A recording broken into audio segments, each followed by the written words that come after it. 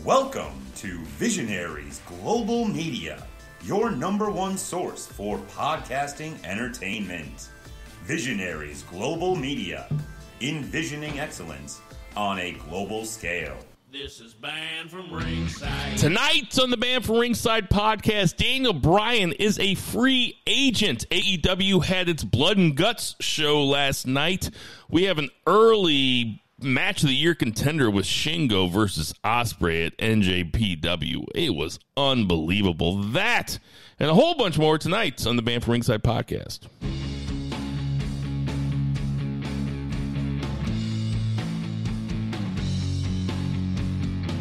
Ditch that nine to five. It's time to feel alive. Hello, Marks, and welcome to the Banned from Ringside podcast. As always, I'm your host, Bill Vagey, aka Sync Bro de Gallo. And out there in Edwardsville, Illinois, we have two beers. Zach Bowman, what's going on, two beer? Not a lot. Uh, I know uh, Michael Wallace Fields in his uh, very touching 200th uh, episode video that he sent us uh, was talking about the first time that he listened to us. He's like, "Ah, this song's corny as fuck." Uh, I get hyped every time I hear it now. It, it really gets me in the mood. but the first time you heard it, it's probably corny as fuck, though. No, go ahead. Go And ahead. sitting right across from me in his beautiful South City apartment, we have Jason Cornelius Bell. What's going on, JCB? You said beautiful. That's too sweet. Allow us to bow our heads as I read from the latest edition of the Banned from Ringside podcast, volume 204. Chapter 3, verse 14 of the Good Smart Say it, hashtag boo the heels. It is all good, baby. Listen, share, subscribe, repeat. Um, interesting week of wrestling. Just some quick shout outs. Um, big shout out to Walgreens today, giving me my first shot of COVID. I'm waiting for my Black Superman powers to kick in. Walgreens gave you COVID? Yeah, right. My COVID shot, dare I say. Um, arm hurts a little bit, but you know, like I said, I'm waiting for the uh, the Black Superman powers to kick in any moment now. So if I start ripping the table up or you know flying out of the room, pay me no mind. I'm just getting used to some shit. Um, shout You know Warner Brothers is casting a black Superman, so you should throw your hat in the ring. That that's the whole, the total reason I said it. I'm like, what the fuck? Who's what's this Black Superman shit? I was about to say I must not read enough comic books nowadays. Um, shout out to Chelsea on to the Champions League finals. Can't believe that shit. Outside of that, same old shit. Ready to talk a little wrestling. Yeah, we got, like I said, we're coming at you from South City. I'm back and better than ever. I've been I've been moved out of South City for exactly six days, and I couldn't stand it. So I've been back here twice in the last six days, and Jason's been out to St. Charles once. So You were uh, anxious for that uh, Kingshighway traffic, weren't you? You just Oh, couldn't wait to get back in it. God, that Kingshighway And traffic also- was terrible. I don't think uh, St. Charles is too fond of Jason. Not anything about him specifically, but you know, Well, I knew he was coming over the other day. I knew he was coming over, so I knocked on both my next door neighbors' homes. I was like, Right. "This guy's a friend of mine. Okay, he's not a prowler. I swear to God." I made sure my ass stayed inside for the majority of that visit. But, 10, 15 uh, minutes tops. South City, you know, it looks so much different since the last since the last time I was here. Um, Yeah, right. A whopping what? Three days ago. before we get too far into it, we got some sad news about F and B Eatery, a longtime sponsor, longtime friend. Uh, they couldn't withstand COVID, and that is no shame on them. That it, COVID has taken out much uh, much better places than them, and there's not a whole lot of better places than them. Uh, so bummer. So you know, I'm not saying this because we lost a sponsor. I'm just saying this to, I always say at the end of this uh, podcast to support your local restaurants. And Agreed. that's not a joke. I say support your local weed dealers. Agreed. That's not a joke either. But restaurants seem to be having a harder time now. So if you're going to get some it's that goddamn unemployment. Nobody wants to work. yeah, that's exactly what it is. the invisible hand of the market. Unless uh, the invisible hand of the market wants people, wants businesses to pay people more, then the invisible hand of the market's like, no, it's unemployment's Whoa, whoa, fault. whoa, whoa, whoa. Now that hand comes visible. So if you don't feel like cooking some night, uh, just go ahead and reach out to your local restaurants, your local burger joint, your local sub joint, whatever it may be. Don't go to Subway. Don't go to fast food. Just go out and get who's ever closest to you because all we can do. Hey. Yes? Mother's Day is coming up. I Mm. bought, uh, you know, Bill's Bath Bombs is a great Mother's Day Look present. but I I should have thought of that because I went out and bought from other local vendors. Uh, I bought uh, my mom some CBD honey from a local uh, friend of mine who has a hemp farm, makes CBD honey, and she puts it in her tea in the morning. It helps with her shoulder. She's 65. And uh, bought That's my, my, nick- wife that's a my necklace from a nickname for your mom. and I bought a. I bought my wife a Uh, necklace from a local like jeweler. So yeah, CBD honey. Jesus Christ. Sorry. Uh, yeah, but seriously, go out and support your local restaurants because they are hurting. And even if it seems like COVID's over, it's not necessarily over, and they're still hurting because you don't. You guys don't need me to tell you this, but COVID has changed a lot of shit. So, Oh, shit. uh, you know, without further ado. R.I.P. F and B. We love you. We hardly knew ye, uh, and uh, I, you know I'm sure they'll land on their feet. Yeah, big Uh, shout out to Mike, man. I was about to say, I reached out to him. You know, he's he's he's keeping his head up, and that's the biggest thing. And I just told him, you know, if he needed anything, any kind of help, you know, please don't don't be afraid to reach out because that's why I'm here. Because, like I said at the very beginning, this was personal to me. This goes back to the Shock City days. This I know Mike personally. We waited tables together. So into a certain scenario, that's like my brother. You know what I'm saying?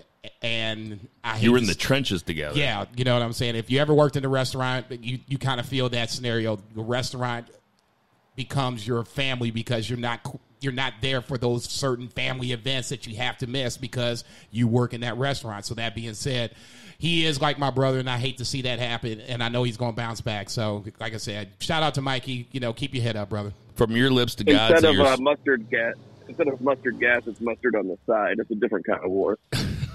Let's get to that three count. One, two, three. JCB, kick us off.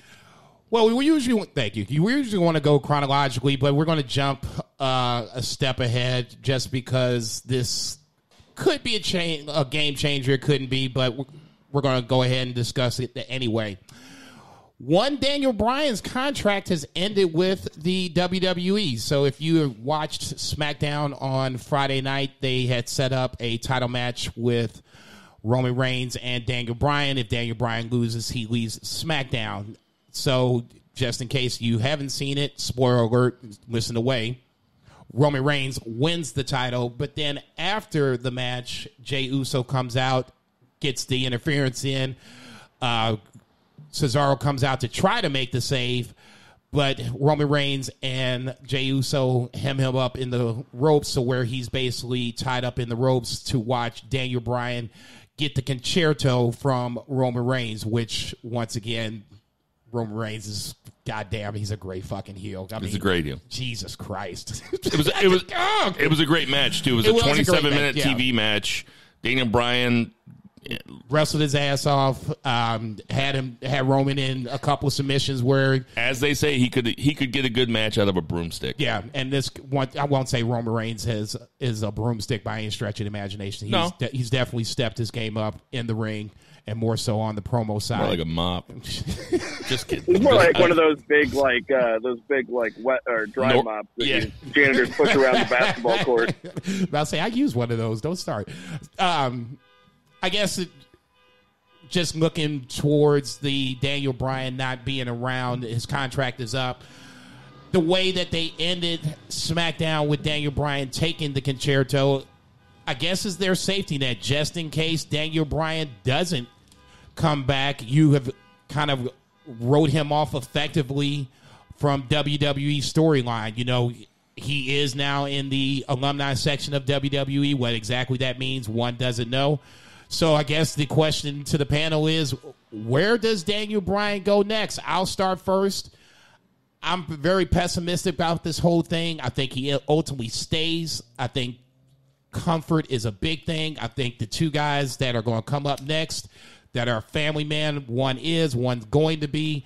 There's something to be about something to be said about being around family and being comfortable and not rocking the boat if you absolutely don't have to. Do I think he's going to do like a tour de Cody and kind of like go around and get his little uh, notepad out and write names down of guys he wants to wrestle and get that shit done? Yep. But ultimately, I think he goes back to WWE, goes backstage on small, Raw, SmackDown, whatever the case may be, and does more creative. Zach, what do you think? I I agree with Jason. Uh, he might not even do that tour. If it was me personally, I would love to see him as a legitimate free agent, like not signed exclusively, just going where he can go because he's fucking Bryan Danielson, and everybody wants to wrestle matches with him. So that would be my dream scenario. But like Jason said, you know that backstage, that paycheck.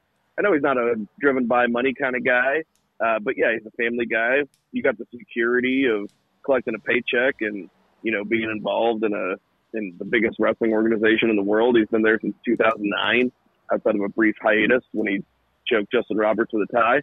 Uh, but it'd be funny if, if he did show up in AEW if they relived that moment. Oh Like, yeah, actually yeah. Oh, you great. you have got to have if that happens, you have to at least have them cross paths and kind of look at each other, Justin, kind of like. Hey Bryan, no, gonna be like, no, hey, hey Daniel, be like, no, it's Bryan, motherfucker, it's Bryan. You know, kind of go after him or something like that. Yeah, that would be cool. Yeah, like we'll we'll see how it plays out. Uh, we're fond of saying that around here. We'll, we'll just wait and see how it plays out. But yeah, dream match. I'd love to see him wrestle in Arena Mexico. I'd love to see him wrestle uh, Filthy Tom Lawlor on New Japan Strong. I'd love to see him wrestle Mm. Kenny Omega. Obviously, you know.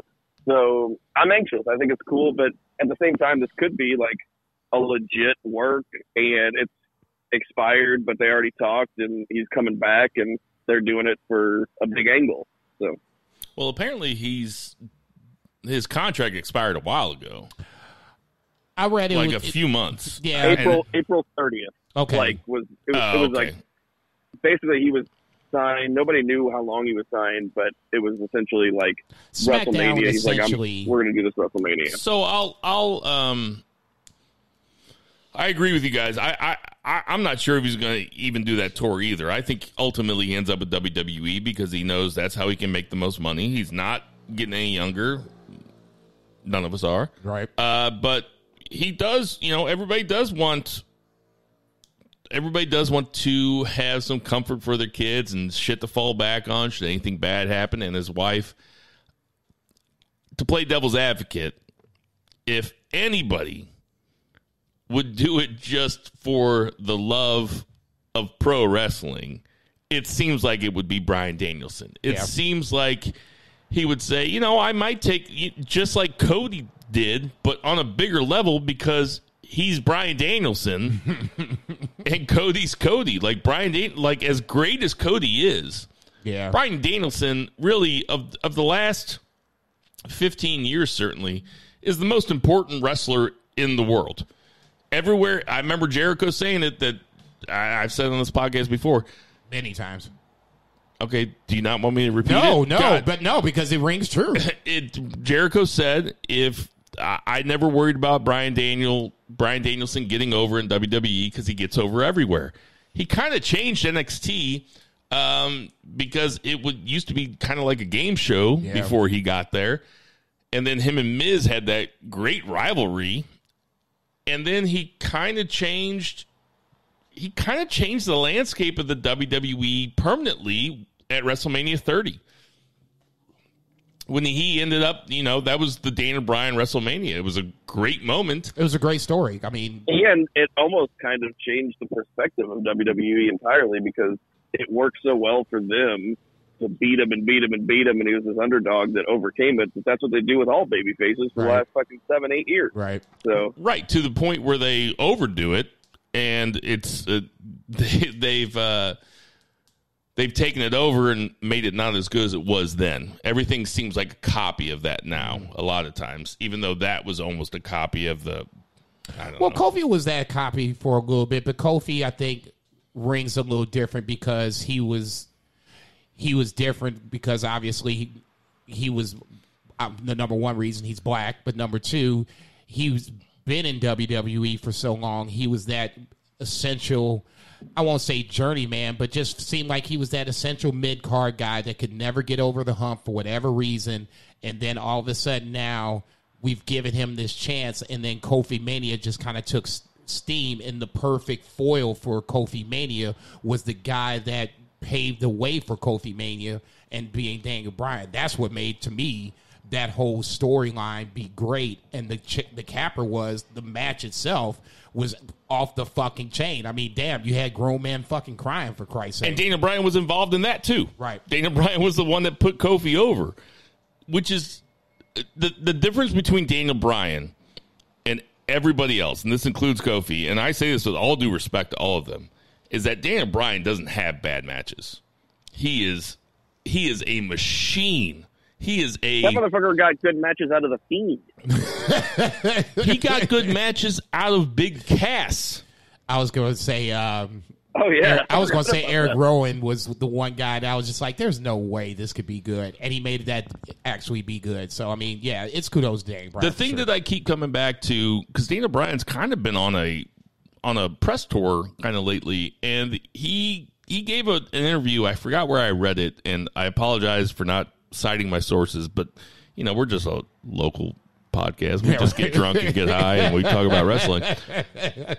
I'm not a journalist, Yeah, right. but he I, I know that he said when people compare i know he's been very uh he's been very uh he, he has said- Complimentary to- complimentary thank you to aew Yeah. but he has also said when people compare he doesn't like when people compare matches in wwe to matches in other promotions around the world because it's not the same thing now he has said that in interviews recently basically saying, yeah, you can't have your best matches at WWE. Yet, that guy pulls out outstanding matches. If there was a, a list of WWE best matches of 2021, that WrestleMania match has to be on it. And obviously, you have Daniel The one on involved SmackDown was really fucking good too. too. So, I mean, I'd say in the last ten years, if you put a list of uh, WWE matches that were the best, like main roster matches, he'd be on more of them than not. I would say if out of 10, I would give, I would three, say at least three spots would have a Daniel Bryan name in there in some form. So, or fashion. two beer, why don't you why don't you fancy book it for me? Your best scenario for the best six months of Daniel Bryan.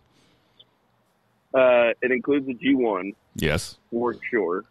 Uh, it includes a uh, surprise entrance on Dynamite with no hype of anybody coming in, just him showing up, and um, maybe you know some of those AW guys could be in the G1 and it starts a feud, uh, a la you know like Suzuki or you know something like that. Um, you know, and uh, even still, like I said, the free agent thing, like going down to Arena Mexico, wrestling for this new uh, Federation down there, where Andrade is going to be wrestling the, uh, Rush's promotion, and like you know, going back to ROH, you know, going back to the roots of the American Dragon. Motherfucker, you stole my answer, son of a bitch. You totally stole So my that's answer. that's my dream scenario is that he remains a true free agent, and because the wrestling landscape on the non WWE scale is, is changed a lot, and there's a lot of collaboration, and it means that he might not necessarily need to be signed exclusively, and because he's been making money for so long, and his wife fucking makes great money too, like they're not looking, you know, they're not, you know, dreading winter at this point, you know, like it's it's they're doing well. Um, so if he could remain a true free agent and just take a little less money to not have that exclusive thing, and uh, that that would be my dream scenario. Jason? No, uh, the ROH scenario was the one that I thought of immediately because when they uh, when ROH kind of relaunched or whatever, they started with the Pure Rules tournament, and that's what got me back watching ROH again. And it was basically centered around Daniel Bryan, uh, Bryan Danielson. Um, was Cesaro, but I can't think of his name. But when he was in ROH, Claudio big- Castagnoli. Thank Big you very much. Uh, Tyler Black, you know, Samoa Joe, guys along these lines, Jay Lethal, that had won the Pure Championship. Samoa Joe, also a free agent. Right. The- okay, so m- more so Samoa Joe, I wouldn't. I would expect to kind of go like maybe the Impact route, but once again, it kind of Two Beers said it best. These guys don't really, especially just to the topic of conversation. Bryan Danielson, Jesus Christ, Daniel Bryan doesn't have to sign with anybody. I agree with Zach, and that's why I said I call it the tour to Cody. If he just bounces around, you can get the the dream match you want in a one shot deal, especially if you wait until July, where apparently you're going to have like live fans and all this other good shit. If you wait, then you can really reap that benefit, not only with you know the the gate itself, but then the exposure even more so, where it could really be a big fucking deal. Now, I don't want to be a downer, but there is a good chance that he is just negotiating his deal with WWE in terms of appearances, money. You know, does he show up at WrestleMania every year a la Undertaker or something like that? But the guy clearly wants to wrestle. And, you know, to quote Mark Henry, he's got plenty left in the tank. Right. I mean, because he just had a spectacular WrestleMania match and probably the best SmackDown match of the last two years Friday night. That Joker was a barn burner. It was a barn burner. Even so though you knew what was going to happen, it was still fucking. it good. is very. Dude, Ex- it's like Edge got three million dollars because he said that's what Tony Khan offered him, and Tony Khan did not offer him three million dollars. Well- like, you know what I mean? plus it's not like WWE is hemorrhaging money. It's By like no they- they're they're making tons of money. They're idiot proof. I, I wouldn't I wouldn't they'll make money despite it in Yeah, spite of themselves, yeah. as uh, Phil Brooks once says. I as much as I think about speaking of CM Punk, as much as I think about him coming back, I would rather rather Daniel Bryan keep wrestling than CM Punk come back. I just think that I don't know, CM Punk, he's just no. you know what? I don't even want to make this about him. I'm just excited to see what happens with Daniel Bryan. And there was a couple years ago when we were like, man, if Dean Ambrose, Jon think he was coming Moxley, if well, there was a couple years ago where we were talking about the G1. We were Mm-hmm. like, man, if Jon Moxley shows up in the G1, that would fucking rule. And he came to the G1, and guess what? It fucking ruled. True story. So I don't think there's any way that Daniel Bryan shows up in the G1, but god damn if he did. How many matches are there that you'd want to see with fucking Daniel Bryan in the Christ. G1? He better be in the fucking A block. Is all I gotta say. We don't even know what the A block is yet. Come calm It's down. always a better block. I just I just got to see him versus Yano. You know what I mean? Um, My hand's getting ready to explode. speaking of New Japan, let's get to that two count. One, two, three. Two beer. What's the two count? Uh, two count was uh, one of the best matches I've ever seen in my life. This was a match of the year candidate, as Bill said in the intro. Um, I don't really. It'd be hard pressed. Anybody's gonna be hard pressed to outdo this match, uh, regardless. Uh, you know, Daniel Bryan showing up in the G1 might be able to to do it with uh, you know, an Ishii or an Okada or something like that. But at the same time, this thing was an epic, as Jason said in our text thread, instant classic. And uh, I got slammed yesterday over Cinco de Mayo because I work at a brewery, and uh, we were very busy, so I didn't get to watch this until this morning. And I was just texting these guys. I was like, "Oh my god!" I was like, "He just did a made in Japan through two tables. Oh my god, the made in Japan in the ring looks even worse than that. He dropped him on his His head fucking head, yeah. and just absolute barn burner. I mean, it was 45 minutes. Uh, you know, definitely built like a long match. But I saw stuff in this match that I've never seen in my life. Did you And did you I name think- the two wrestlers? Shingo Takagi and Will Ospreay. No, I did not. I was was gonna say, Okay, sad. all right, Yeah. And it was the it was Yeah, the main same- event at night two of Dontaku. Yes, for the IWGP Heavyweight Championship. So Wait a minute. um, I I did not. Yeah, I did not expect Takagi to win, and he did not. Uh, but my God, these guys put on a show. I never thought they'd do a better match in their 2019 Best of Super Juniors, which was match of the year, and then they do shit like this. And um, these guys are just two of the best in the world now, and two of the best who ever did it. Uh, Takagi's kind of in his twilight years, although you never fucking know it. Uh, he spent 10 years in Dragon Gate, um, which I would love access to be able to go back and watch those matches, because I'm sure they were also fire. He's like one of my favorite guys ever in a very short period of time that I was introduced to him uh, since he's been in New Japan, and they've booked him so good. Uh, but he's a total powerhouse. His facial expressions are like second to none, uh, and uh, there's a lot of cool athletic shit from Will Ospreay. Uh, at one point, Shingo had his foot. He caught a kick and flipped him ass over fucking tea kettle. Uh, It- I just saw total that. I was- 540. I just kind of peeked my head o- over to my right or whatever. My TV's to my right, and I looked over, and that spot you're just talking about, sh- it just came. I'm up. not sure we've ever that that's never happened, right? Nobody's ever done that. I- It might have happened, but I mean, it's so It rare. have, yeah. He he pulled it out like, and I'm sure it probably did happen, but the, with the force that he hit, it just was so impactful. And yeah, I've probably seen it in like a lucha libre match or whatever, but the way that they did it, because the rest of the match was so hard hitting, and he fucking flopped himself hard on that mat. It just really kind of that was, I think, the moment that this match went to the next level. It was probably 20 minutes in, and then it just built from there. And these guys are phenomenal. Like I can't speak any more highly about this match. Like easily five stars. It completely earned its 44 minutes. Jason, what do you think?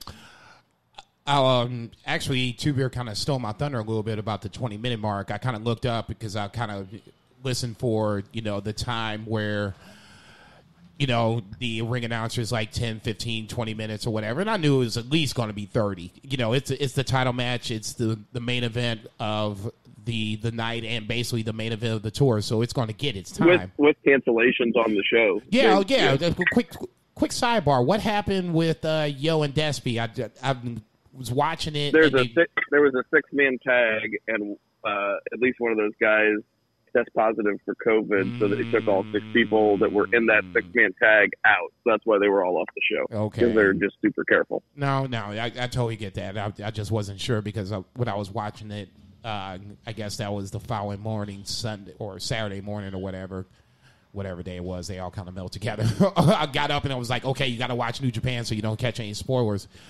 That was like um, the first announcement. And it was in you know Japanese commentary, which once again, I don't give a rat's ass what kind of commentary it was. Shingo and Will Ospreay translates in any fucking language. Okay, them motherfuckers was, was losing their goddamn minds, and I loved every minute of. it. To me, that added to the match, and I love Kevin Kelly. Absolutely amazing. Like I said, him and Excalibur, depending on you know who you like, what you like.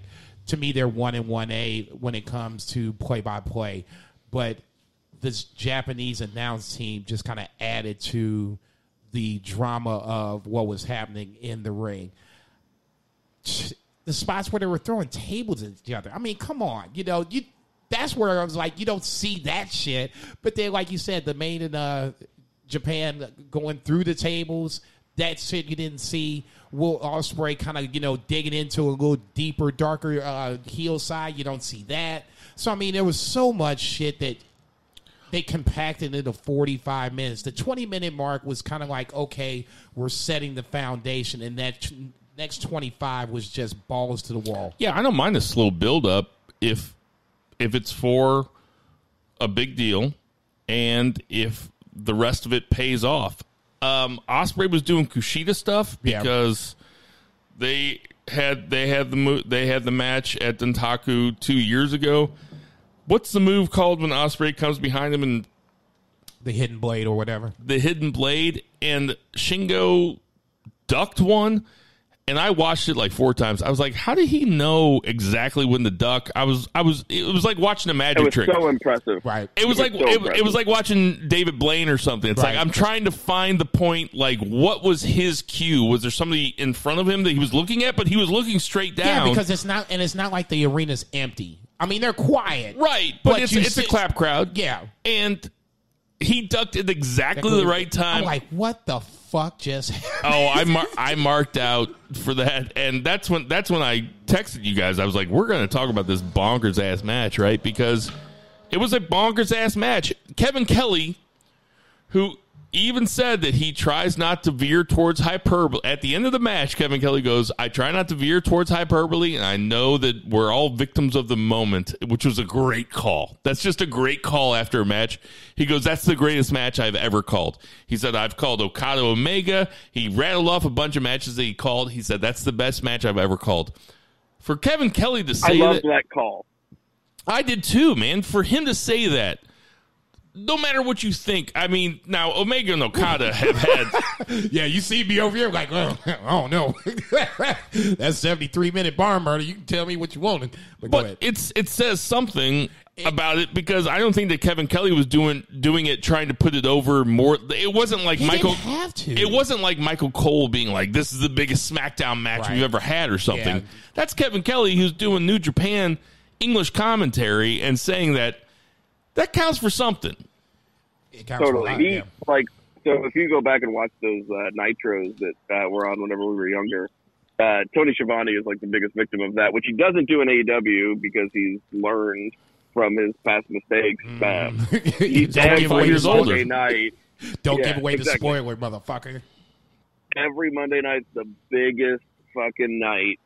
You know, like back then, it was like you've never seen anything like this, and you know, every week, like it worked on me when I was 11, but you know, like if I was an adult, like it would have been a little bit different. But uh, you know, Kevin Kelly has respectability as a announcer because, like he says, he tries not he tries to veer away from hyperbole, which I suffer from on this podcast. Uh, you don't don't say. I don't have the integrity that Kevin Kelly does, and I think that's one thing that makes him one of the greatest announcers of all time, in my opinion, is because of the quality of matches that he's able to to call, and the well, the fact that he just does it so well.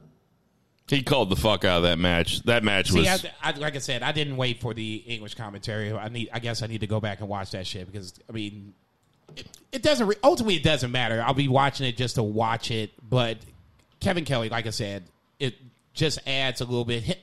If Mauro comes back at some point, oh, fuck. that would be you know the holy trinity of play-by-play announcers when it comes Hyperbole personified.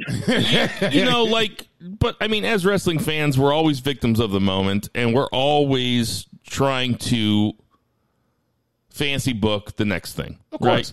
and and chase that next high, right? You know, like we, like, Right, but, These guys like- like, are killing us with how good wrestling is these days, That- and the, that's the exactly things that they're able to o- overachieve. It's crazy. that's exactly what I was going to say. It's like that is a match that you don't get that often. You know, a couple times a year, maybe, but that if you're lucky. But that type of match, I it would I I turned that match off and then I turned on some other wrestling and it was just like the fucking balloon had all the air taken out of it. It's like I wanted every it, it was basically like, you know, when you do a bunch of blow and then it's the end of the night and you're like I'm not hungry but I got to eat and I'm too tired but I can't go to sleep. Right. That's what the rest of wrestling looked like at, after that. And No, I agree. I- it- the adrenaline was still going analogy. after the fact, where I was like, okay, you know, I just I gotta sit here. I, I smoked a cigarette. I was like, man, that shit was so fucking good. To the point where I was just like, man, I wish there was something else behind this, or we could see backstage. But I there's was not. looking for backstage comments, like, and I was like, fuck, they're not up yet. I'm and like, the reason it, the reason it was so great is because there's nothing because there is nothing behind it. You know, you know you're at the end, and uh, y- it's you know when you're watching a great match and the and you get the three count. And it's always a disappointment because you're like, ah, I want, I, like you over. literally wanted them to fight forever. Yeah, and that's over. what that's what I wanted out of Ospreay and Shingo in that match. and I want I was waiting for Okada to come out, and that was the next thing because this is why I love fucking New Japan. They don't fucking wait. You know what I'm saying? They just tell you what's next. So Right. I'm waiting. You know, Ospreay's getting his flowers or whatever. So I'm just kind of like, okay. Come on, Okada, whenever you're ready. And he never came out, which makes it to me even more perfect because now you've you got me over here salivating like a fucking hungry dog for this next match. The the match that Will Ospreay is basically circled.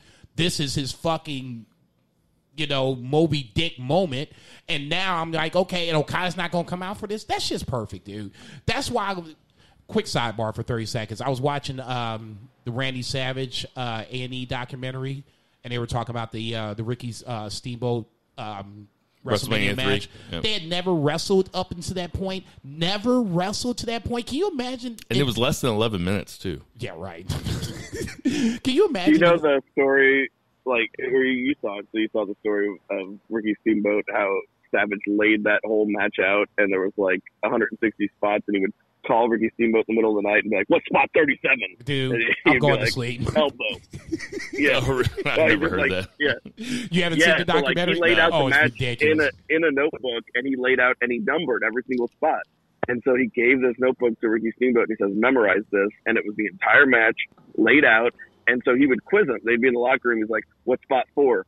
What spot 113?" And like he would have to like rattle them off. Not have to, but he did because it was like obviously worth it because they had the best match.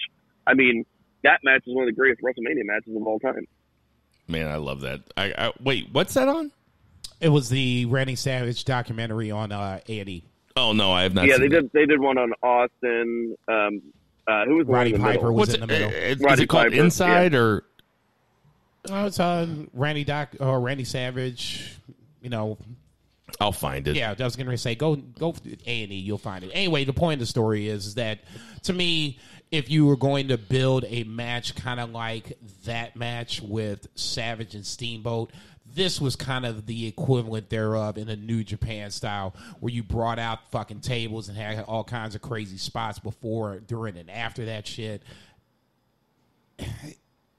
Is it the best match I ever seen? I hate to say that. It's one of the best matches I ever seen. It's definitely on my list of match of the year candidate. I said it.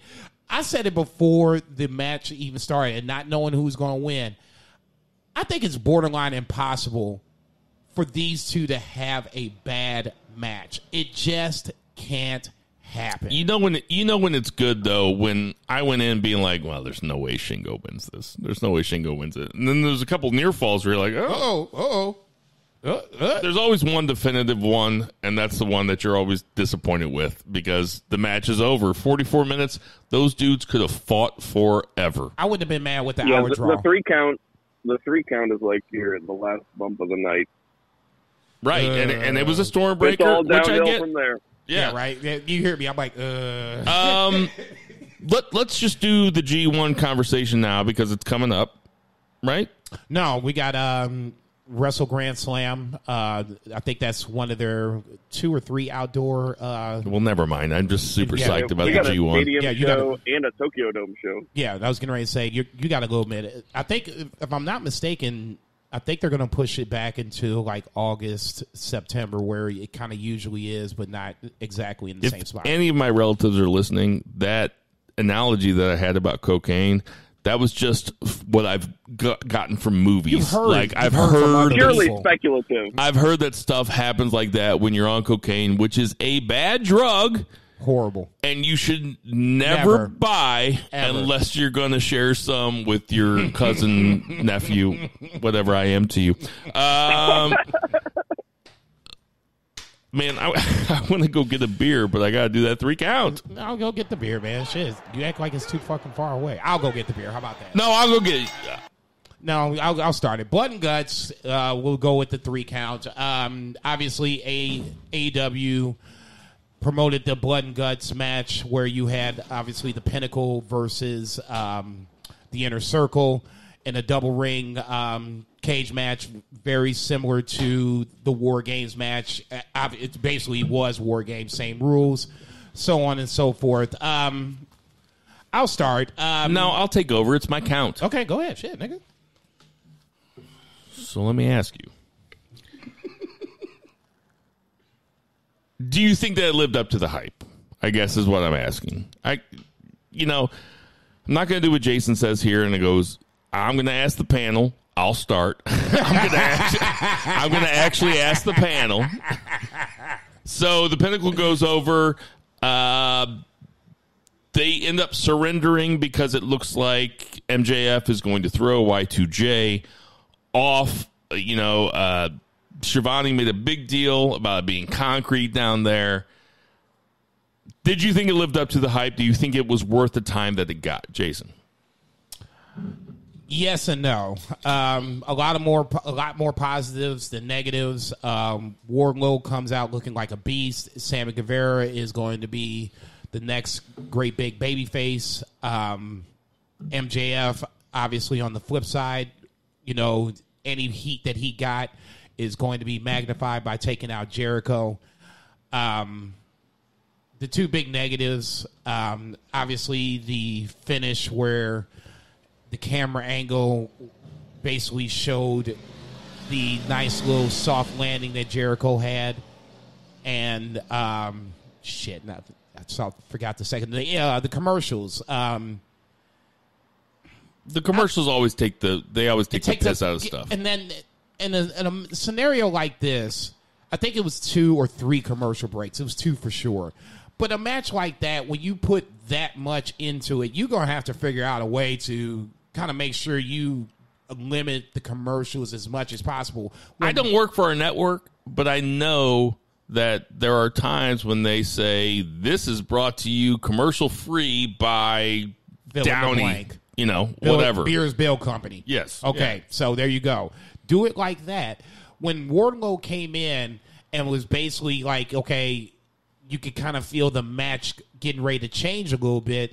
That's why I was like, okay, yeah, let's you know, let's see what's getting ready to happen. And you start to go to commercial. I'm like, man, god damn it, you know, this, Wardlow is going to be one of your next big stars.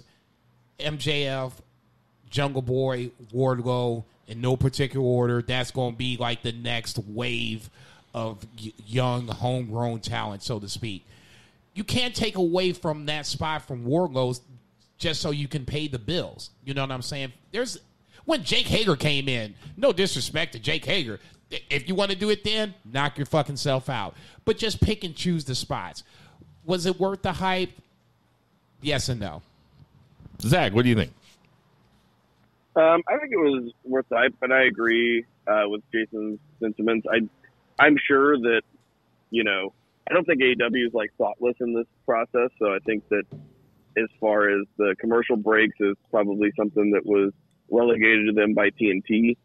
Um, unless they were to go search out that sponsor, you know, on their own and have that. I, you know, I don't know how those things work either, but I feel like commercial breaks are kind of outside of your control. They usually do those intros without those opening matches without commercial breaks and stuff. But um, you know, they usually have you know plenty throughout the rest of the show.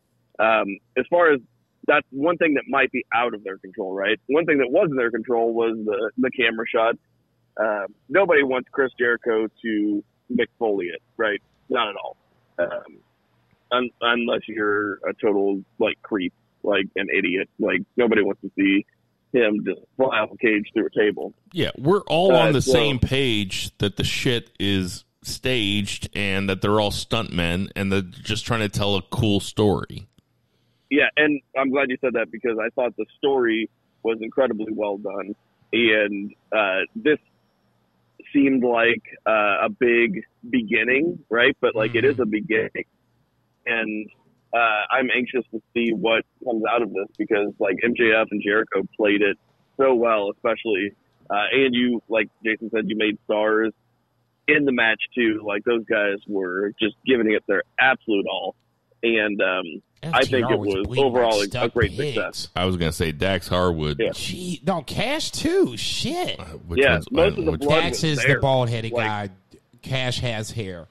Dax started Well, the match. Dax Dax had a he had a rough go- hour. Yeah, he got go, opened up early, but then like Cash got opened up like halfway in the match, and he was bleeding just as bad. I'm like, Jesus fucking Christ, what the fuck is this?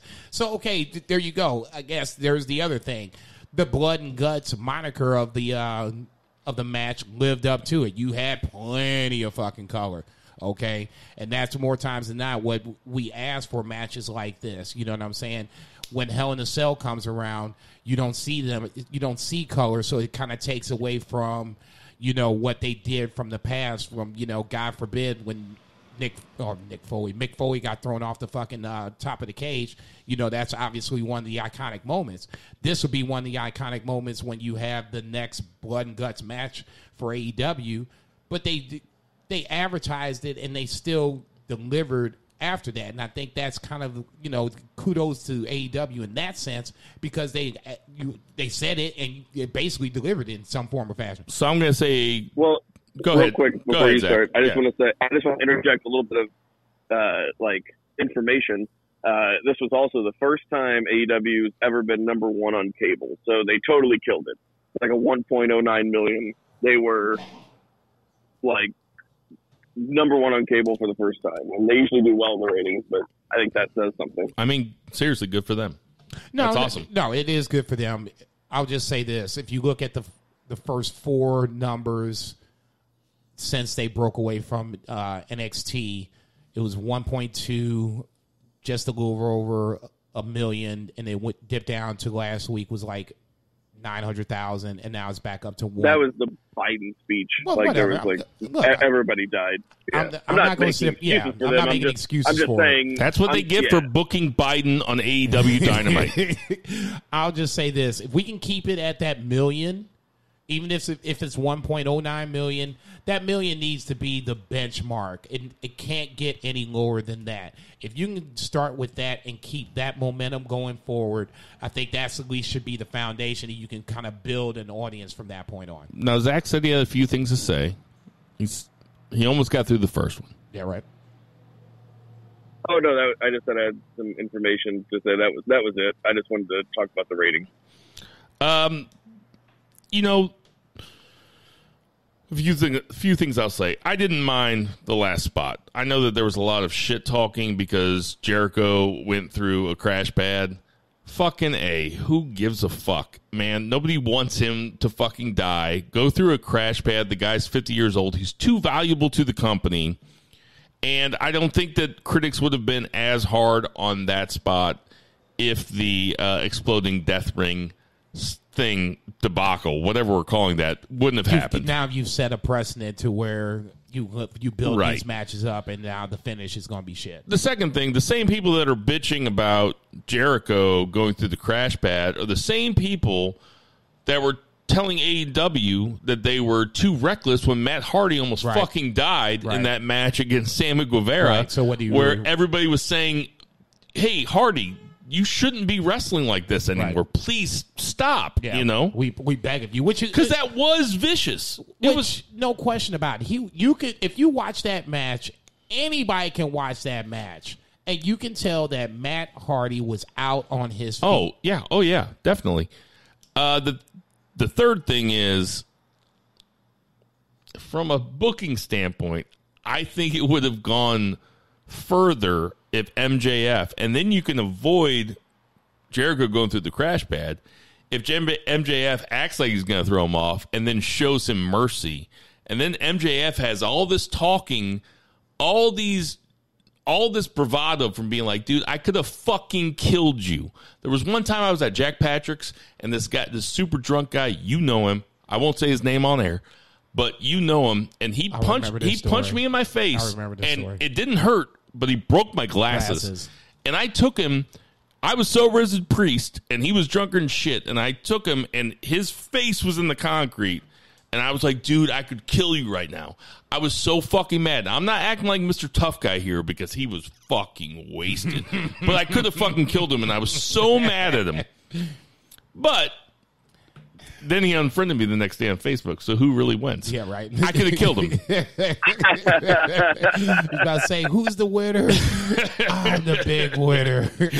So I just I wish that MJF would have just showed him mercy because then you have you have a, a year's worth of Bragging promos. rights, yeah. I mean, you know, I could have finished you I off. could I could have killed I could- you. Yeah, Your any- career would be done if I wouldn't have shown you mercy. And that Well, sounds a little I bit think meaner to Jericho's me. going to sell it. I think Jericho's going to sell it big. You know, it's not like he'll just be on Dynamite next week. Um, sure, I, think I, I do. Th- be, I, think it's wouldn't be surprised if he took a break. yeah, for And sure. then it's going to be him versus Daniel Bryan in Japan like next month. Nobody sees this shit, right? Close that forbidden door. No, No, I don't, I don't mind. I don't mind the spot though. I don't mind the camera work. I don't mind the spot. Go ahead and lie, lay, lay on the land on the crash pad. I'm not going to do it. I'm not going to do it either. I'm scared of fucking heights. You know what I'm saying? That I, I can't believe I fly on airplanes. I'll just say this, and Zach says it a lot too. New Japan does their camera work so well. So when you know on point of impact, they turn the camera so where you still get that moment, but you you might miss. You know, if they miss a little bit to the left or to the right, you don't really see that bit big, big a deal. That was something I think you could have avoided. Okay, you know this spot is coming. You could have avoided that spot. Now, why they didn't, I'll let you guys tell it. But to me, it's not like this was something that was, you know, They out could, of the blue. they could have had a camera on, on top. top. of. and there you go. There's all sorts of things they could have done. It, it took us what thirty seconds to think about that. I'm not going to fault them too much. Maybe No, maybe no, it's not logistically it didn't work. It's not the end of the day, but like you said just earlier, when you have the specter of the exploding bar- barbed wire death match finish on top of this, you want to make sure you want to get this one right.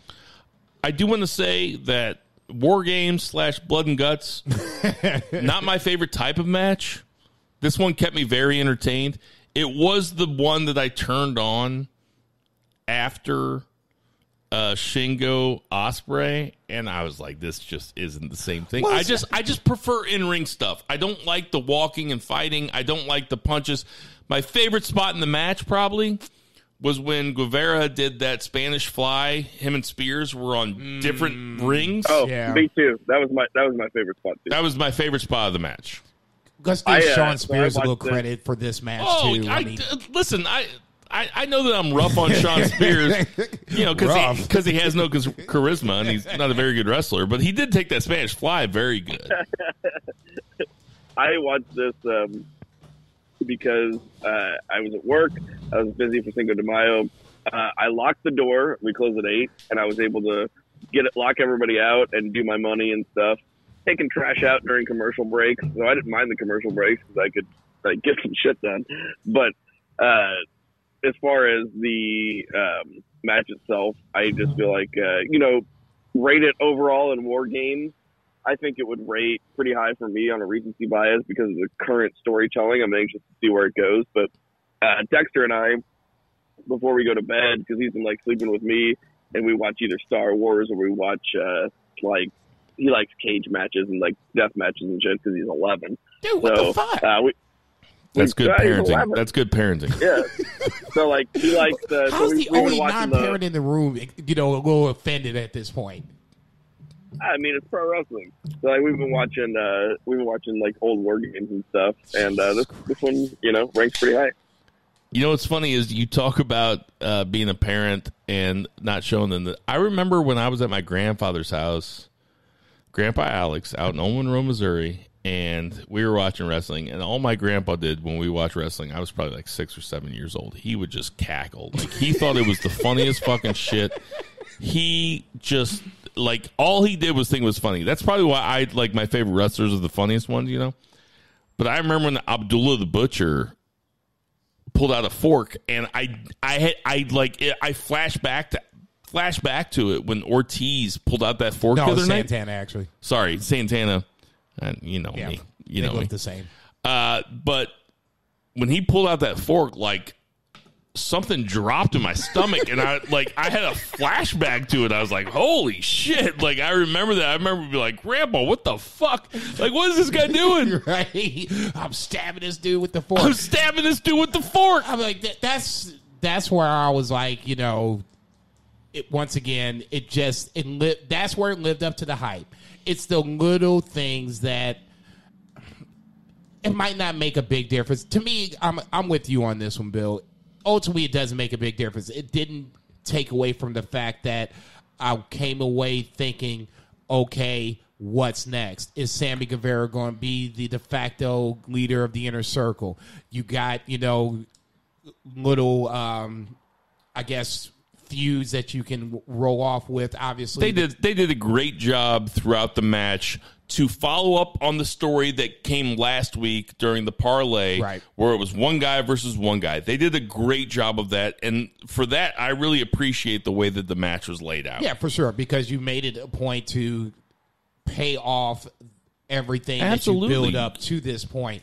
When you had Hager versus Wardlow against each other. Yeah, obviously, you know, these are the two big horses of each other's stable, but it made sense. They basically paid off that Shawn Spears, Sammy Guevara shit with that one spot. Yeah, for sure. Now, there's a bunch of other stuff that happened on this mat on this uh, card, and I know that uh, Zach didn't get a chance to watch all of it. That's okay. There- Not a whole lot happened. I think I just said a I bunch of stuff about it. happened. I think I just Just said, said a bunch, of stuff, happened. but not, a whole lot happened. happened. That's like, isn't that wrestling? Uh, But next week, next week looks great. By the way, like I mean, as far as excitement about next week, oh, we got Yuji Nagata versus Jon Moxley. all right, so oh my god, Yeah, let's talk about Yuji Nagata versus Jon Moxley. Yuji Nagata, the Japanese legend, has not been on TNT since he was in WCW back in 1996. I they think. pu- they pulled that shit out. I'm like, my head I think like, so. Yuji Nagata, fuck? who isn't the biggest name going in New Japan Pro Wrestling today, but obviously Moxley respects the fuck out of him. Well, no, uh, I'll I'll let uh, Two Beer talk about the Nagata uh, influence in New Japan. I'll just say this: for me, um, Nagata is somebody that when I started watching New Japan, he's on the back end of his career. So all his great matches, obviously, I haven't seen. But then all of a sudden, he can pull out, you know, the this instant classic versus Suzuki. In um, you know, a meaningless not I wouldn't say a meaningless match, but just a match that ends up being you know something that was so great on a tour that had a uh, a night where you didn't have Okada or Naito or whoever was you know supposed to be main eventing or whatever the case may be. And the next thing you know Suzuki and uh, Nagata pull out this you know 25 30 minute banger and you're like what the fuck is this? I mean this guy's you know 50 years old and all of a sudden you see in this great match. So I mean he and uh, Moxley, I think, are going to have th- that same kind of physical match. The fact that you have, you know, this um, connection, I guess, is the best choice of words I'll go with, with WCW being in on TNT, and now you have A AEW on TNT. I think that's an amazing fucking symmetry on the fa- on that fact. I'll just say this: don't sleep on Nagata at this point. He'll probably lose this match. It's a probably a safe bet, but I got the sneaky suspicion this is going to be one of them bad boys that's going to be hard hitting from the start to the finish, and Yuji Nagata will make some American fans on this match, and then hopefully those said American fans will take a sneak peek over at New Japan. So, like, ultimately, this is once again rising tides floats all boats. It's probably predictable the finish, but ultimately the bigger picture is, I think, what's in store for us all. Subir, what do you think? Oh man, like uh, I'm so excited for this. Um, I've only been able to go back and watch Nagata in his heyday uh, on New Japan World, which I'm thankful for, and I'm happy to spend my 999 yen uh, every month because I mean the dude, like you said, an absolute legend, two-time IWGP champion, um, like just. I mean, you can like just read off the accomplishments, and like Jason said, he's hard hitting. Um, you know, like this is like a, a dream match for Moxley. Same way with like Suzuki, right? Like, and that feud absolutely ruled, especially because of the way that they kind of just charismatically linked. Um, because they're just two mean guys, right? And I think it's a similar kind of paradigm with Nagata. They're two mean guys, even though Nagata's like lightened up in his old age, it seems, but he's still, you know, he's still awesome. So, like, uh, I mean, the guy, no slouch, huge, like, accomplishments, uh, in especially New Japan in the past. So, like, uh, I'm thrilled to see him back in American TV wrestling Jon Moxley. I mean, this is the kind of shit that we're living for right now. Is this cross promotion shit? Like, I know it's Nagata now, but like, just like insert like Suzuki, right? If like Moxley and Suzuki had a match on American television, like this is the kind of shit that could happen. Like it's making my dick hard. Uh, I can't. But it, here's the thing. Like, yes, I'm excited for this too. I don't know much about Yuji Nagata. I went, I watched some YouTube stuff with him. But you guys sound like a couple of fucking marks, man. Like out of all the people that we could bring over to fight Jon Moxley on American television, they're gonna send the old the old fucking horse that's getting ready that's just been studding out the whole time instead of fucking fighting. Like, isn't there like how many more New Japan guys can you name that could challenge Jon Moxley for this title that you'd rather see than Eugene Nagata? Well, 20? they have 20? like, the, the, the country right now. You know, it's going to be an older guy because they got stricter protocols. It's going to be a while before he can go back into the country. So, like, you know, it's not just like Don't come with on me with logic. Don't come with me. Do not come at me with facts. Thank you very much. Okay, I'll just say I'm trying to be a dickhead over here, and I'll you're coming at me. Yeah, right. I'll go this far. Who do you want to take away from the, this current tour to bring over to challenge Moxley for the title? I mean, damn. Who's I'm- on the current tour? Okay, guys that that I haven't. Is Show there? yes. I think the only I think the only person I'd rather watch Show that- fight. No, he's I, on the I think the only person that you could say otherwise is Suzuki because Suzuki's an older guy and they don't have like plans for him. But right? they've already So, like, I fought. think, okay, but yeah, I mean, but they've already fought, and maybe he wanted, maybe he requested this. They just you know? had Kenta. okay, that okay. Now, They just had okay, Kenta. okay. If you want to go there, let's go there. If there was, that's who should have beat Moxley right then. That way, you take it back to Japan, and then you have you can challenge. You have a bunch of different challengers. Now, if you want to make that argument, then I'm all for it. Let me let me say this right here. The U.S. title, the IWGP U.S. title, is the Moxley title right now. Nobody's going to take it off of them because that is their foothold Right, in America. right. Nobody, nobody's going Totally. to.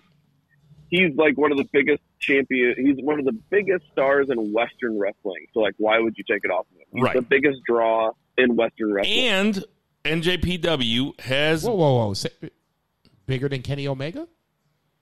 Oh yeah. yeah, but like, Oh, yeah. there's a thing with Kenny. Like, Oh, No, no, no, no, no, no. Let the man speak. Of course, he's bigger than Kenny Omega. I ain't got What let do you the mean? man What do you mean? the- Of course. What do you mean? Well, of in course? Western yeah, wrestling, totally, because he was in because of WWE. WWE run. Yeah, Come on, dude. and a big star at WWE, not just in WWE. He's not a big cast. He's, he's Not a Cody. big star. yeah, he's a big Ooh. fucking star. oh, yeah, right. What's that? What's that gif with uh, Bill Murray and Kingpin where he's like, "Whoa, Oh, you ain't shit. no, okay." Okay, look, I'm just saying. To me, Kenny Omega is always the devil's advocate kind of scenario. I will agree that Jon Moxley is big, bigger, probably more so for the fact of his time in WWE. That said, Kenny Omega is just as good. I want you In ring. I want you to listen to me very carefully. Okay, go ahead. Kenny Omega will never be as big of a star in the West as Jon Moxley because Jon Moxley is all fucking attitude and Kenny Omega is all technique.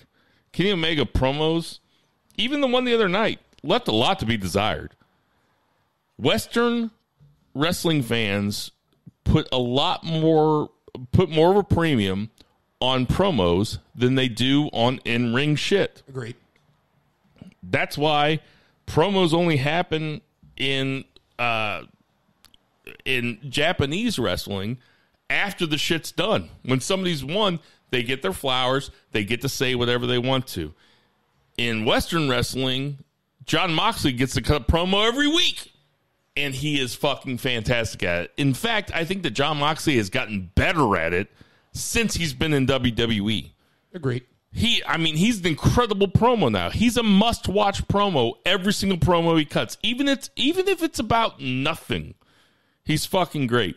Kenny Omega will never reach that type of stardom in America, specifically Okay. Because he's No, just that no, that if when you put it like that, that's totally fair. he's just not as good at it. Um, He's just not as cool. Kenny Omega is not as good promo wise as Jon Moxley, and there, therein lies, the, I guess, the problem in hand. Well, it's not a problem for anybody except for Kenny Omega. It's not a problem don't think for it's a problem for Kenny Omega. Kenny Omega's doing okay. Absolutely, it's just not a problem for AEW because they'll always have Jon Moxley and Jon Moxley. right?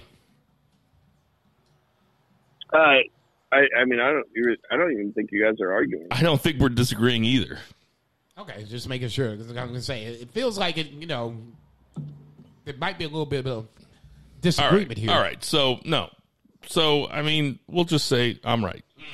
Okay. Uh, looks like Miro.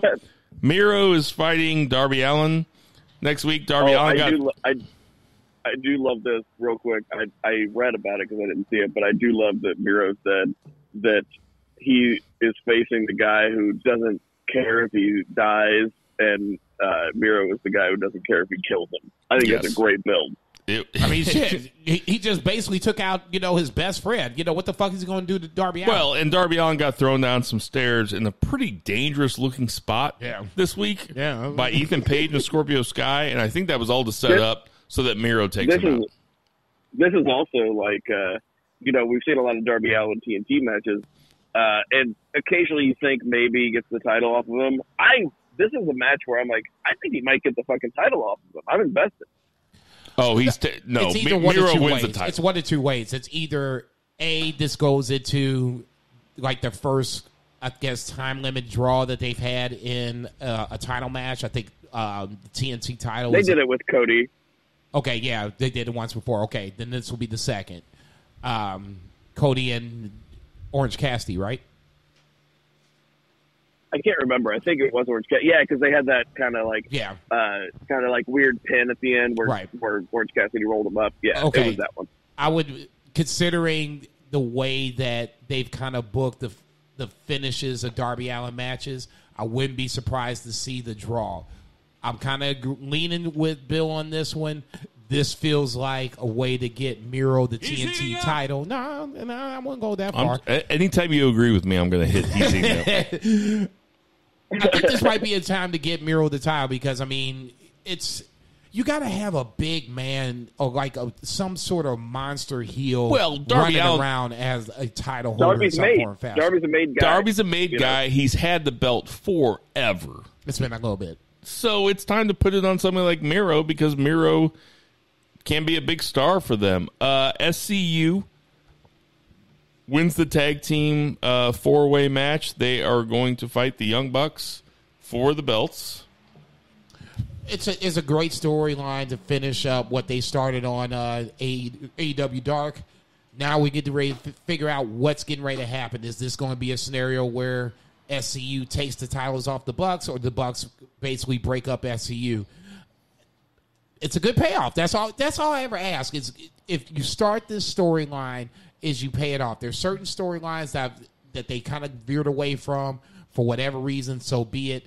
Now they're. I think they're starting to get back to the point and uh, NXT two where they're going with storylines and they're finishing it from start to finish. Zach. No, I think that's the play. If it was me, if I was the booker, if I was Tony Khan, I'd put that thing on Miro. I think you have to at this point because I mean, it, it it's kind of hard to have guys like Brian Cage, Lance Archer, and Miro all on the your roster, and none of them are champions. There's yeah, I yes, you took the words right out of my mouth. There's no reason that Darby Allin should still have this. Darby Allin should be in chase mode at this point. either chasing the TNT title or going after Kenny Omega. Exactly. Uh, speaking of Kenny Omega, he is fighting the winner of Orange Cassidy versus Pac. Last week, Kenny Omega disrespected the fuck out of Orange Cassidy last week during his promo. Orange Cassidy came out to just basically take it. Uh, didn't really say anything. Kenny Omega says, I see a lot of kids with hands in their pockets. Nobody can do what I do. He said sock hop. Come on, man. There's no way Orange Cassidy wins this, right? No, I think he wins it. You think Orange Cassidy goes over Pac? Look, yeah, I, think so I'm- because we've seen we've seen Pac versus Omega twice. Only once in AEW, but it was one of the best matches we've seen in AEW. But Orange Cassidy, like I said, I think I just said this last week. Orange Cassidy versus Kenny is a money match. Like that's money. if they do it, if I'm not mistaken, that's going to be at Double or Nothing, correct? Yes. Okay, so there's there's going to be live fans there, 5,500 give or take. So Orange Cassidy has a crowd. Is I what you're, think, is what I'm you're going saying. with what we've said before on the pod. Orange Cassidy with a crowd. I think this. It's not a match that Kenny is going to lose. Kenny's not going to lose any of these titles for a hot minute. Let's consider him like Roman Reigns on the SmackDown side. So that being said, you're going to have to put guys in front of him that are legitimately, you know, they have a chance, but ultimately Kenny is going to win. Pac has not even. It's more than a, a, you know a bit of a chance. You can see legitimately see Pac taking the title off Kenny Omega. We can't have that, not just yet. Right now, Orange Cassidy, as much as I hate to say it, I expect him to beat Pac in some form or fashion and be the uh, the opponent for Kenny Omega. Uh, we have QT Marshall versus Cody Rhodes. I don't think anybody ever thought QT was going to win. Cody Rhodes goes over. Anthony Ogogo is it Anthony Ogogo? Hmm? Anthony Ogogo comes out, gives him a liver punch, and then drapes. They've been The, that liver punch hard though. I, I kind of like that. I'm anxious to see what Anthony Ogogo does. He has like star power. yeah, I, Um, I, I agree. He's got personality. No, he's a pretty boy, and it- which is one of the things I don't like. But I do like the fact that they're leaning into that uh, liver punch because, I mean, shit.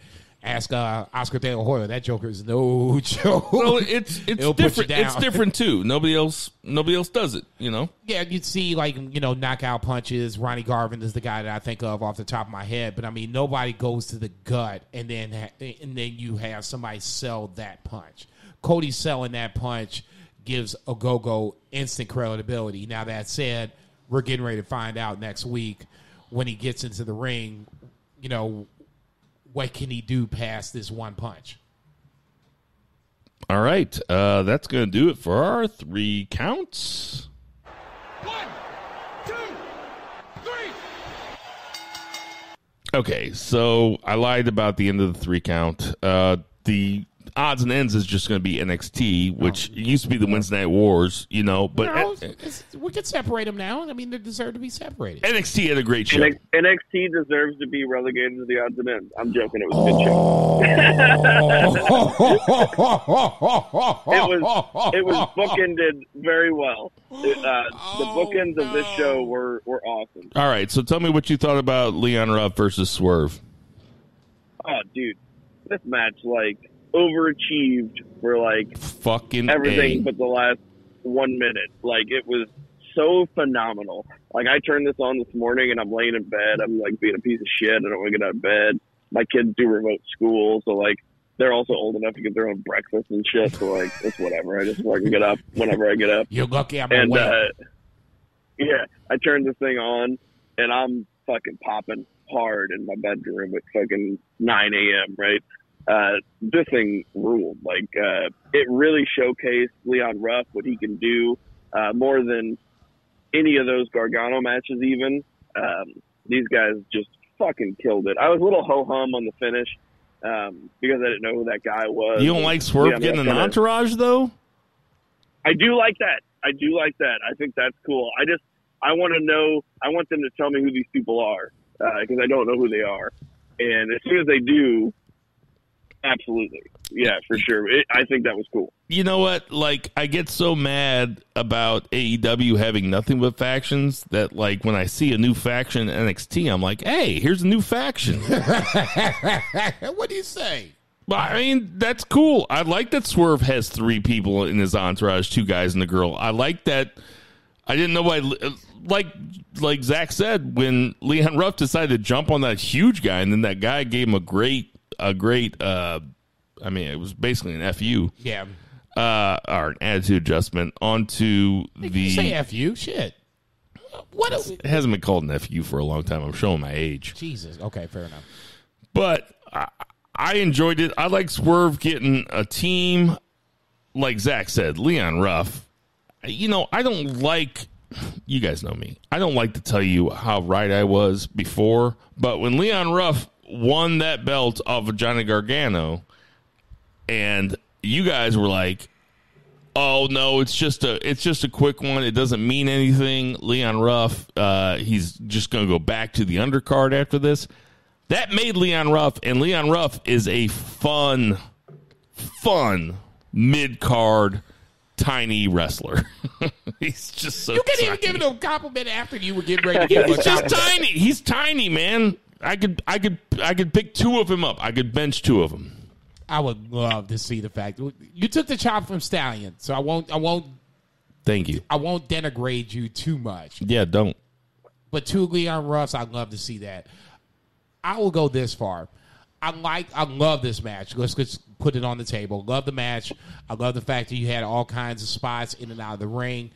Uh, the guy that caught um, Leon Ruff is Something Francis? AJ Francis. And so if you're watching A and E uh, biographies, that's the uh, the show after it where it's uh, they're I can't think of the name of it off the top of my head, but they're going out and you know reclaiming WWE. Um, I guess you know merchant not merchandise, but like clothing that they wore. Where like um, what was the most recent episode? They got the urn back when Mankind turned on. Well, Paul Bearer turned on Mankind, or check that out. Paul Bearer turned on the Undertaker with Mankind, and the urn was the question. So they tracked down the urn. Jerry Lawler, you know, they were tracking down some of his shit. AJ Francis is basically the star of the show. So unfortunately, I knew his face. I just couldn't place name with face. So when I saw it, I'm like, okay, that's cool, but ultimately, you know, they didn't do a good enough job to make the connection between this is who get this guy is and this is who the same guy is catching Leon Ruff. Outside of that, I have no problem with Swerve having an entourage. I think it's great that he has a woman in part of this entourage. I'm waiting for somebody else that's not um, Hardy Family Order to actually throw a woman into their fucking mix, but neither here nor there. I think that ultimately it gets Swerve moving forward, whether that's the North American title or ultimately the uh, the NXT title. It doesn't make Leon Ruff look weak. So in, in that scenario, to me, it's win win. Horny Jason talking about he's glad that there's a woman there. Uh, let's see here. What else? Would you like not like Naomi as a part of the bloodline with fucking Roman Reigns? I'm horny too, man. I'm just not talking about it. Uh, Ca- Cameron Grimes, uh, Ted DiBiase is back. Ted DiBiase, Cameron Grimes, and Ted DiBiase are so fucking funny to me. I laughed out loud Yeah. when he yelled, DiBiase. They, you- they got me. No, I've, I've been the most vocal critic on this. They got me on this one. I mean, when DiBiase pulled up, you know, you knew what was getting ready to happen, and I still fucking laughed. What you think, Zach? That's what's up. Oh, this is too funny. Like Cameron Grimes is in the perfect spot for this, and I don't know how it ends up. I don't even care. Like it could go on for seven, eight more weeks, and I'll laugh every time. Like uh, they're just fantastic together. So, uh, yeah, this is totally fine. Totally agree. We had Grizzly Young Veterans versus Ciampa and Thatcher. Ciampa and Thatcher are my new favorite tag team. They're fucking awesome together. They're kind of evil, but they they like hide it beneath they're just being gritty. They you used know? the shoe, man. Yeah, yeah, it was all right. they used the shoe, dog. Do you think they're heels? As it- I mean, look, If they're building up to a Thatcher and Ciampa versus MSK, that I'm here for that. Yeah, I think ultimately that's where it goes because I don't think that. I guess here's my bigger problem with it. Grizzly Young veterans can take some hits, but you can't just keep hitting them with these kind of losses. At some point, you're going to have to get them the big win. There's not another really good NXT tag Do you think they lost anything in this loss, though? I don't. no, I'm not saying that it's this is the loss that's going to have them on their decline, but you keep doing this the way that we talked about earlier, where WWE has teams or people with loss after loss after loss. They might lose a little momentum. There's people that don't like GYV because Zack Gibbs is not entertaining them, and I totally get that. I think he's goddamn comedy to me, but I get that. the great part of about wrestling is entertainment, and entertainment strikes people in different ways. I just think that those people are going to lose interest, even those people that might have like you know that you know th- they're good, but if you keep having them lose, they will move, jump off the fucking train too. What do you think, Zach? Oh, I didn't get to see this match, but I am very much invested in Ciampa and uh, Thatcher as a tag team, and uh, I think both those guys being like veteran performers and also being a foil to like MSK because it's totally in a style clash. Uh, I really would love to see that match. So like I, I think it's cool. No, I think it's going to happen. I mean, obviously, Uh, we with have them winning, I think this this is the next match coming up. so we have Kushida versus Santos next week. That seems cool. Two out of three falls. Yeah. Uh, Sarray seems like kind of a dangerous wrestler. Did it look like she fucked that chick up pretty bad? I didn't think so. What what what do you mean? I guess There was a spot where she went for like a big knee against the rope, and I saw a gif of it that Curt Stallion retweeted, and it looked pretty rough. Pretty rough. I'll just say this: as the, only person of this panel that watches Japanese women's wrestling, if I saw that, I didn't even blink. So take it for what it's worth. I watch I watch Japanese women's wrestling. I just don't watch current stuff. Okay, uh, in the tag match, we had Indy Hartwell and Shotzi Blackheart go over Ember Moon. Or sorry, wait, yeah, you're right. Yeah, Indy you're Hartwell, right. yeah, and went over Ember Moon and Shotzi Blackheart. Indy Hartwell and Candice LeRae went over Shotzi Blackheart and Ember Moon. Okay, thank you. I, Never mind. I'm not even going to ask. Um, I can't tell them apart. Jesus Christ. Uh, it was a fun match. Lots of big spots. Lots of big spots. And Indy Hartwell had a lot of these big spots, and that's why I was trying to say that. You know, I know Zach is you know not necessarily the biggest Indy Hartwell fan, and I agree that she's green, but I think this is maybe not her breakout moment, but one of these moments where you can kind of tell that she has this talent to be able to move forward whenever they decide they want to break up the way. And either Indy Hartwell goes with Dexter Lumis, God forbid it's too long, or she goes solo dolo. Indy Hartwell has got some places to work with. And this match basically so the fact that she can take bumps and she can deliver bumps well, and the fact that to me that was the biggest thing that I took away from the whole match when you had three other legitimate other women that could come in and do whatever they wanted. Indy Hartwell to me was the standout performer in this match. Uh, Zach, what do you think? Yeah, I was actually surprised at the finish. Uh, I didn't think that uh, they were actually going to take the titles because in the Johnny Gargano, uh, Austin Theory, um, Them motherfuckers Yeah. like, he, yeah, it took off, and he's like, "Oh, we're going to start the celebration for them because they were just like ready to head out." Y'all I didn't think it was actually going to ain't happen. shit. How you gonna Which does leave? get- Those skits were pretty funny. Like Austin Theory, like saying like, "Oh, they're so big." Oh, they gotta be real. Attitude And- era shit, man. Yeah, it is. It's Yeah, don't get me wrong. Don't get me wrong. It, it is was attitude era shit, but I did laugh. Yeah, I laughed, and I don't appreciate it, but like he delivered it well. Like it was like a Sure. a, a total shit gimmick, but he, he delivered it well. Um, but yeah, like uh, these gals just totally put it all on the line, and Candice has a history of hardcore matches. Like um, you know, she's gotten color more than any other woman that I've ever seen, and um, like Shotzi's crazy. Uh, so they just did it. They went out there and did it. And but I was surprised at the title change. No, I, Uh, agree, I agree with that. we also had a promo between Raquel Gonzalez and Mer- Mercedes Martinez. I'll say this about that promo exchange is that Raquel Gonzalez is a terrible promo. Mercedes Martinez, pretty good promo. They were both uh, in relief with each other because Mercedes Martinez saying that I paved the way exactly for people like you is exactly right, and Raquel Gonzalez looked like she was doing a promo on Tough Enough.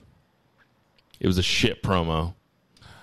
I won't say it was a shit promo, but I will say she came across as a total baby face, and she's the heel of the match. So it's this constant like thing that's going on with Raquel, uh, where she seems to be a baby face, but she's positioned as a heel, and it's weird.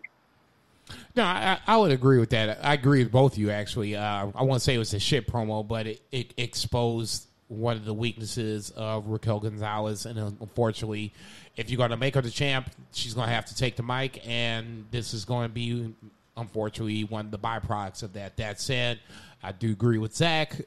It, I just wish that there was, I wouldn't even say that I wish there was a queer heel or baby face but Raquel Gonzalez has kind of bled into the gray area of heelish slash babyface behavior when, especially like I said last week, when you give um, Io her props for the match the last week. I don't even think that heel should give props to baby faces. You know, thanks for showing up. Thanks for bringing me the title, shining up for me. You know, do something like that versus saying how great the opponent was. You know how great the match was, so on and so forth. But yeah, ultimately, I agree with both you guys. I think the match is going to end up paying itself off, but the build has been a lot to be desired for sure. And then there was an absolute. I like, I like the format though. That format was cool. Like, yeah, I, I liked it too. They... Then there was an absolutely ape shit segment where Karrion Kross comes out. I can't tell if Karrion Kross is supposed to be a babyface or a heel. Maybe he's supposed to be a tweener. He's certainly like holding the mic up to try to get the crowd to chant. He is also talking about giving the fans what they want, which is not a heel move. Uh, he has his valet, uh, Penelope. Is that right? Oh my God, Scarlett. Scarlett, thank you. Uh, he has Scarlett, who is like doing this. It's just not congruent with what his character is. She is acting like I don't know, like some goth chick or something. Am I wrong, Zach? No, that's that's it, it's a weird gimmick, and especially for Scarlett. I know her main strength is her look. She's very marketable. Uh, she's an okay wrestler, but like uh, she is not wrestling, right? Like she did not get signed to WWE to wrestle, apparently, uh, because she's not like even in any kind of like contest with any of these women. So uh, that's interesting. But yeah, uh, it was a weird segment because, uh, like you said, it's hard to say where he's positioned because of the way he talks, but he is kind of obviously the heel. Uh, but he doesn't talk like a heel, and then the heel went over three dudes. Like, yeah, is he obviously the heel though? Because Kyle O'Reilly comes out in a fedora, and that's not a babyface move to me. What do you think, JC? No, I wish I could rock the fedora. No, this this was really an interesting segment, especially when uh, Johnny Gargano comes out and jumps uh, Kross from behind. The first two guys, uh, Kyle O'Reilly, obviously, we saw their uh, their backstage crossing of the pass or whatever the case may be. No big deal. Um, Pete Dunne was kind of you know calling you know guys out you know who wants a piece a piece of Pete Dunne. I thought this was where Daniel Bryan might come in to play after losing to uh, Roman Reigns on SmackDown, but obviously with uh, his contract uh, negotiations, that's not in the in the cards, so to speak. So obviously, when I saw this, you know, the mini fight unfold, I'm thinking, okay, we got a triple threat for whatever takeovers coming up. This is going to be cool. Um, now, did I say Finn Balor? Finn Balor came out. Kross came out. Kross was first. Finn Balor, uh, Pete Dunne, and then Johnny Gargano came out at the very end. Okay, so you know you would have Gargano, not Gargano, but um, Pete Dunne, Finn Balor, and Kross as the triple threat, which would have been, which sounds like an amazing triple threat. Well, you throw Kyle, Kyle O'Reilly in there, so a, it looks like a four way. So Right. here's what happened: Karrion Kross came out, Kyle O'Reilly came out next, Pete Dunne came out. Like Finn- every opening Raw you've ever seen. Right, Finn Balor before he could, he talked shit about O'Reilly and Dunne before he could get to Karrion Kross. Karrion Kross just knocked him out, and then No, well, Finn Balor threw the Finn punch Balor first. first would do it first punch. and then Austin Theory and Gargano came out and fucked up Karrion Kross for behind because Austin Theory and Karrion Kross are having a match next week, which I'm very much looking forward to. I don't know what's going to happen. I don't know when the next takeover is. I don't know if they're going to wait for a takeover. All Oh, I I, know is should. that I'm very intrigued with Karrion Kross as a babyface because I think that he has a very, I think he's a very good seller. I think that he sells the fuck out of shit. I'm not sure that Kross is. I mean, I guess you can. In this scenario, I guess he's the baby face because, you know, you got. He is not a heel. I don't think he's a baby face. I mean, Oh, he doesn't I mean, come off. He doesn't come This across is like as a the baby story face. of NXT right now, unfortunately. again, It's we're not we're not saying anything Dexter different. Lumis. Same thing with Yeah. Kyle O'Reilly. You can't Kyle wear a fedora and be a face. No, see, no, that's just you, you know, hating on fedoras. Okay, Kyle O'Reilly is the baby face. You ever met a guy in a fedora that you liked? I'd have to think about that. For, you know, give me thirty seconds. He was probably talking about how you don't respect your female enough. You ain't shit, motherfucker. Kyle O'Reilly's a baby face, okay? Pete Dunne's obviously a heel. Gargano, heel. I don't know. I don't know if Pete Dunne's definitely a heel. It What? just seems like a bunch of tweeners to me. Pete Dunne is a total heel. They they faced Austin a- Theory and Johnny Gargano were heels, heels. definitely. Okay. but Karrion Kross seems Is like a tweener. tweener Kyle O'Reilly seems like a tweener. No, he's a baby Pete Dunne face. seems like a tweener now. He's a baby face. Finn Balor, I guess, is a baby. Wait face. until uh, Adam Cole comes back. Then you want remember once Who? again Adam Cole, Baby. baby. You remember once again he's a baby face. All right. Well, I, I guess I'll look forward to that match. Well, but ultimately, I guess the biggest thing I took away from this is what's next. Are we doing triple threat? Are we doing a fatal four way? Because now you've NXT. I think, and I'll just say it for myself personally. I love the fact that they broke away.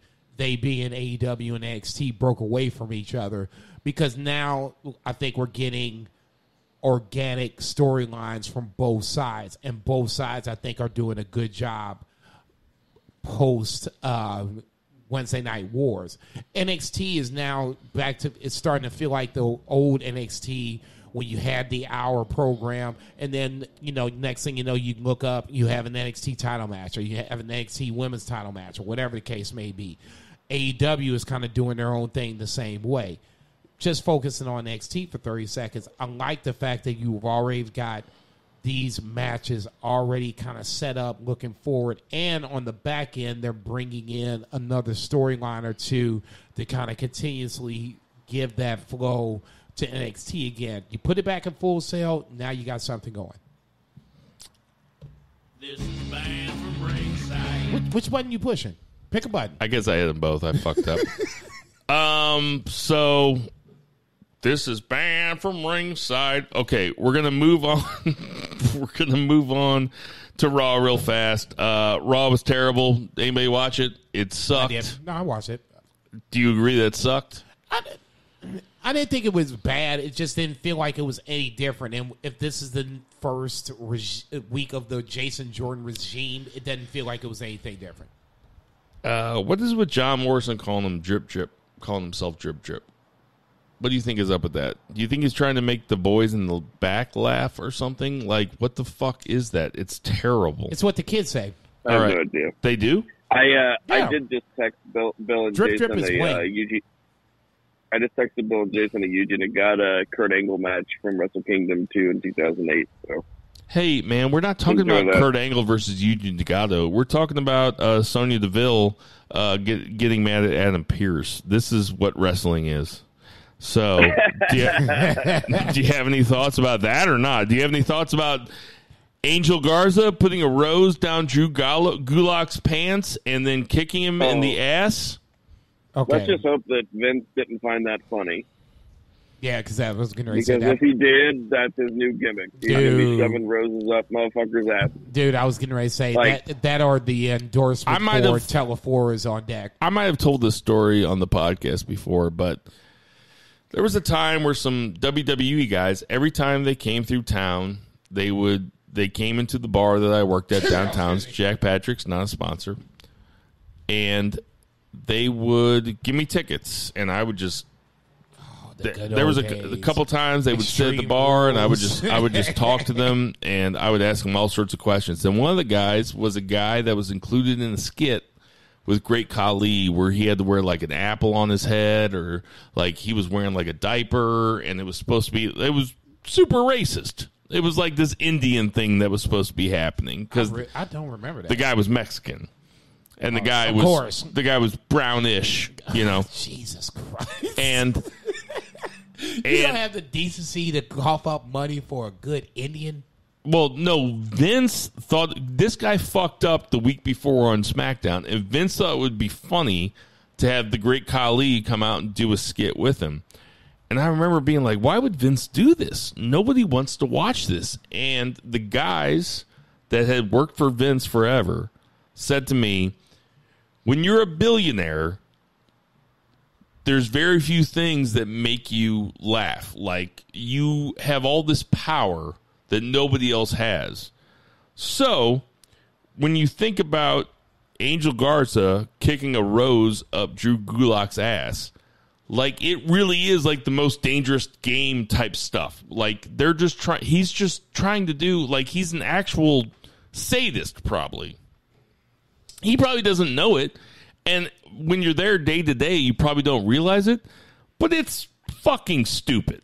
Nobody enjoys it. Nobody enjoys it. Nobody enjoyed Garza kicking a rose up Drew Gulak's ass. I'm not going. Nobody. I'm not going to disagree with that. I'll just say Good. this: the fact that we were even talking about it is the problem with Raw to begin with. Just let the product speak for itself. Sports entertainment is good. I like the Sonya Deville angle. Actually, I, I'm really starting to love. No, I'm, I'm no, I'm liking it. They can't get away from the authority figure angle. Okay, that's just not going to happen. So you might as well just have an authority figure. Pick one or the other, whether it's Adam Pearce or Sonya Deville, that gets Charlotte back into the title picture, and just run with it. Don't. That's one of those things that I think they should have never gotten mm. away from you're going to have to have an authority figure for something. Do you think? What if the NFL didn't have Roger Goodell? it would be fine. The NFL didn't have Roger Goodell for a long fucking time. It And had Paul commissioner, a commissioner. Well, if they didn't have a commissioner, who gives a fuck? Yeah, right. Okay, until the No. until the Rams get fucked over and then you're the first one crying. Okay, th- the bottom this is one of line. your worst takes. no, it's not a worst take. It actually makes sense. If you're going to change some shit, The change some NBA shit. has a commissioner, and he's not a villain. I'm And the, asking- and, the, I- I- and the NBA is the best fucking saying- sports league there is out there. I'm saying that you have to have a commissioner. I don't give a rat's ass if he's face That's or heel. fine. That, NXT has William Regal. He's fine. Okay, He's not a good guy or a bad guy. Okay, that's all I'm saying. Have a fucking commissioner, somebody that's going to run What were Raw, gonna say, SmackDown, what or whatever gonna the say, case Zach? may be. I was just gonna say Vince, like Jim Cornette, as much as he's just out there, he did say one time uh, something that I thought was very poignant, which was that Vince would rather make ten cents his way than a dollar someone else's way, and that I think that speaks to his character very well. Sound about right? that sound about right to me. Man from ringside. All right, it's a your couch. listen. It's a huge birthday week if we're just talking about in ring ability. Okay, I was getting ready to say because there's one you you better be saying otherwise we A don't have a problem. huge birthday week if we're just talking about in ring ability. I'll start with the bad ones. Uh, Brian Knobbs, fifty-seven. Uh, let me go around to a couple other bad ones. Not a whole lot. Hercules, Do sixty-five. you think Brian Knobbs is still alive? I think oh, yeah. so. Brian Knobbs is Yeah, still I was alive. about to say, I think yeah, so. Oh You think you, you think he's still nasty? Of course. Nasty as he wanted to be. nice. Uh, okay, so now we'll move into some decent ones. Uh, Dakota Kai, or it might be Tegan Nox. I can't tell, but I think it's one of them turns 31 this year. Jesus Christ, dude! I mean, come on. Seriously, is, did did you see her on Wednesday or no, or Rob- Tuesday or no? Robert Roode is 44. Glorious, Billy Kidman is 47. Nice little shooting star splash. Now listen I to think he, I think he, I think he taught Zaya her uh, shooting star splash. Yeah, yeah. now listen to this in ring ability. Now these are all people that have their birthdays in May May 6th through May 12th. Okay, Colt Cabana, Owen Hart, Tanga Loa, Kevin Owens, Tommaso Ciampa, Io Shirai, Tito Santana, William Regal, Lince Dorado, and Kushida. Jesus Christ, that's a week. Yes, Dakota Kai 31, Owen Hart would have been 56, RIP, Tanga Loa is 30, 38, KO, Kevin Owens is 37, Tommaso Ciampa is 36. Tommaso Ciampa is a year younger than Kevin Dude, he's Owens. fucking cut. God damn. Io Shirai is 31, Tito Santana is 68, William Regal is 53. God bless you. Uh, Robert Roode is 44. I don't know if I already said that. Uh, Lin- Lince Dorado is 34. Kushida is You think thir- that we would have 38. seen Owen Hart and some G ones? Like Owen Hart? that would have been amazing. Unbelievable. Um, you know what's fucked up is that Kevin Owens, who's my current favorite wrestler, as everybody knows, named his kid Owen after Owen Hart, and named himself Kevin Owens after Owen Hart, and they have the same birthday too. It's fucked up. All I'm- I might say That's this. very cool. I might say this every year. I don't know. I can't remember what I said a year ago. I can't remember what I said ever. that goes without saying on the pod, but that's okay. For F&B Eatery, R.I.P. R.I.P., man. check. For Tender Mahal, Check. for Murray the Murray Man Murray, for Check. Lucha Chris. Check. We doing different music this week, just because he's got the mic. And, Yeah, I hit the wrong one. yeah. Because you, can. You're the captain. For Two Beers, Zach Pullman. Two beer. Check. For Jason Cheers. Cornelius Bell. Cornelius bitches. Listen, I want everybody to support your local restaurants. Thank you. Check.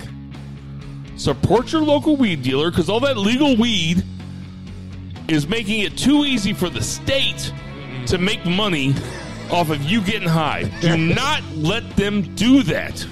Double check. You need to get high illegally so you can support the motherfuckers. This was going off the rails late. So you can support the motherfuckers that take the risks Amen, baby.